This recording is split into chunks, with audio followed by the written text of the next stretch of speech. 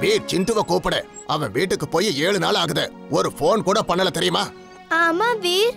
Ginned இல்லாம இங்க ரொம்ப போர் அடிக்குது. சரி நான் இப்பவே கூப்பிடுறேன். அவன் நம்மள மறந்தே போயிட்டான். என்னோட சொடக்கு சத்தம் கேட்டு அவன் வரவே மாட்டேங்கிறான். ஒரு நிமிஷம் இருங்க நான் இப்பவே வரேன்.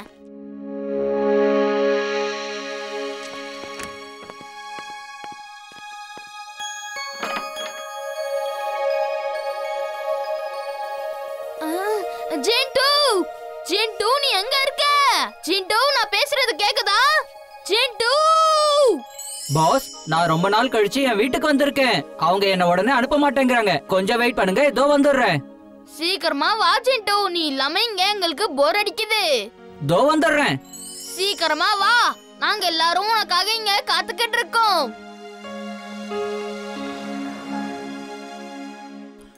எனக்கு கூட வீர் கூட கொஞ்ச நாள் இருக்கணும்னு ஆசையா இருக்கு.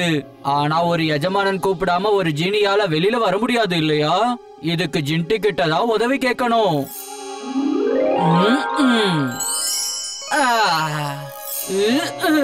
ஓய் ஜின்டு எப்படி இருக்க?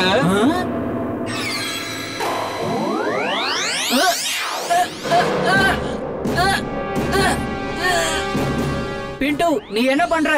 நான் சொல்றத கேளு. பிண்டு! நீதான் இவ்வளவு நாள் வெளியில சந்தோஷமா இருந்தியே.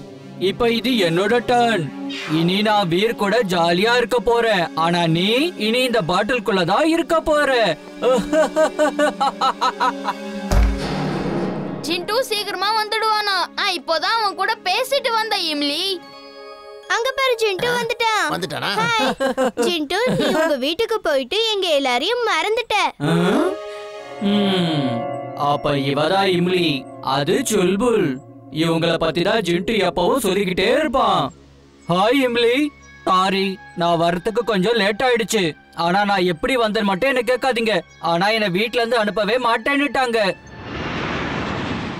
வீர் ஏரோப்ளேன்ல குடுக்கற சாப்பாடு ரொம்ப ருசியா இருக்கும் உனக்கு ஒண்ணு தெரியுமா நாங்க சிம்லா போய் திரும்பி வரும்போது அவங்க எங்களுக்கு ருசியான சாப்பாடு கொடுத்தாங்க அப்படியா அங்க சாப்பாடு நல்லா இருக்குமா அப்ப வாங்க நாமளும் போய் அந்த சாப்பாட ஒரு கை பாத்துருவோம்